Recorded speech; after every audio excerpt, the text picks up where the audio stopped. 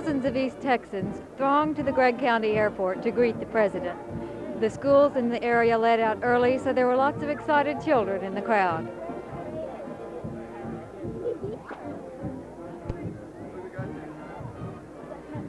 Thousands of East Texans thronged to the Gregg County Airport to greet the president. All the schools in the area let out early, so there were lots of excited children in the crowd.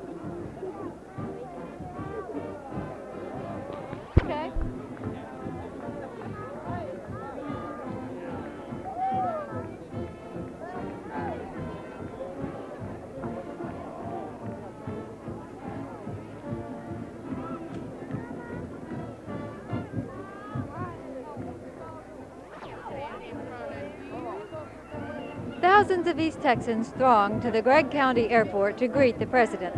All the schools in the area let out early, so there were lots of excited school children in the crowd.